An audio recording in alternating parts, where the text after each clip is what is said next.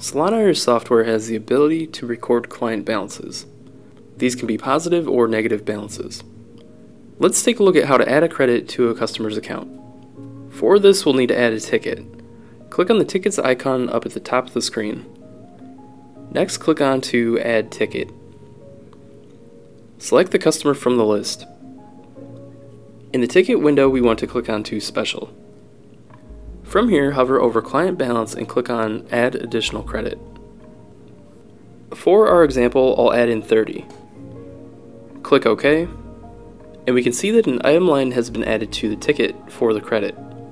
Notice under the Totals section it shows the amount that is due.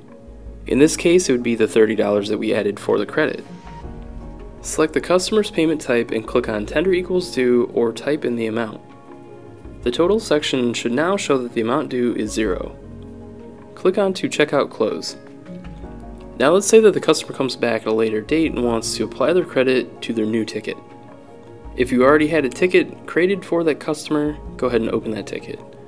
If you don't have a ticket created, let's go ahead and add a new ticket in. Add the service the customer is getting. Now click on the special button and this time we want to select Use Available Credit. You see how much credit the customer has available and you can tell the system how much you would like to use. I'll go ahead and use the full $30.